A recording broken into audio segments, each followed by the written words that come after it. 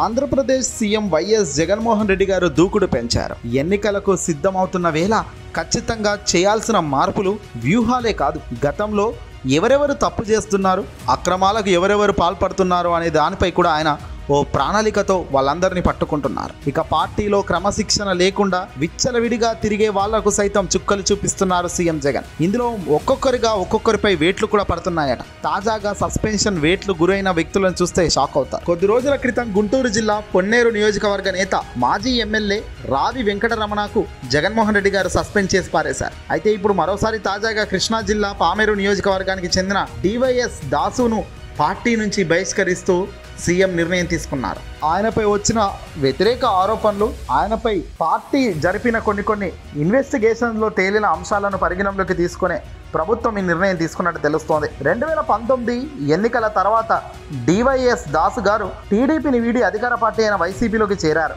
అయితే ఇక పార్టీలో వ్యతిరేక కార్యక్రమాలకు ఇతను పుంజుకుంటున్న వేళ జగన్మోహన్ రెడ్డి గారు తీసి పక్కన పెట్టేశారు. రెండు వేల పంతొమ్మిది ఎన్నికల్లో పామేరు నుంచి వైసీపీ ఎమ్మెల్యేగా కైల అనిల్ కుమార్ గెలుపొందారు. టీడీపీ నుంచి సీనియర్ నేత అయిన వరల రామయ్య పోటీ చేశారు ఇక్కడ.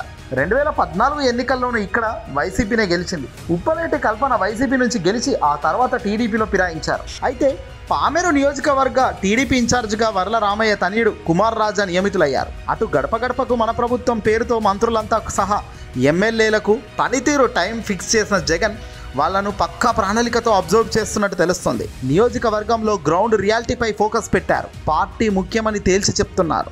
అల్టిమేట్గా పార్టీని గట్టిగా ఎవరైతే నమ్ముకొని బతుకుతారో వాళ్ళకే అవకాశాలు ఉంటాయని పార్టీ కాదు ఇంకేం కాదు మా ఇష్టం అని తిరిగితే వాళ్ళని తీసి సస్పెండ్ చేస్తామని సీఎం ముందు నుంచి చెబుతున్న మాటే. ఇక కొన్ని కొన్ని వివాదాలతో ఆ వివాదాలను సాల్వ్ చేయకుండా కూడా ఎక్స్ట్రాల్ చేసే వాళ్ళకు కూడా సీఎం సీరియస్గా వార్నింగ్ ఇస్తున్నారు. పరిస్థితుల్లో మార్పు రాకపోతే సీనియర్లలో ఉన్న కొన్ని కొన్ని నియోజకవర్గంలోని నేతలపై కూడా చర్యలు ఉంటాయని పార్టీ ముఖ్య నేతలు స్పష్టం చేస్తున్నారు. ప్రకాశం నెల్లూరు అసెంబ్లీ నియోజకవర్గంలోని పార్టీ నేతల తీరుపై ఖచ్చితంగా కఠిన చర్యలు తీసుకుంటామంటున్నారు సీఎం జగన్. డిసెంబర్ మాసాంతానికి నియోజకవర్గాల్లో పార్టీ వ్యవహారాలను పూర్తిగా దిద్దుబాటు చేసే విధంగా సీఎం దగ్గర ఫుల్ కార్యాచరణ ఉందట.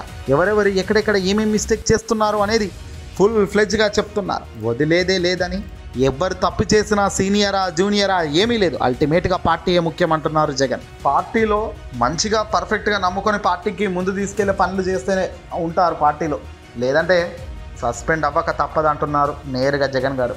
ఈ వీడియోని అసలు లైక్ కొట్టి షేర్ చేయండి.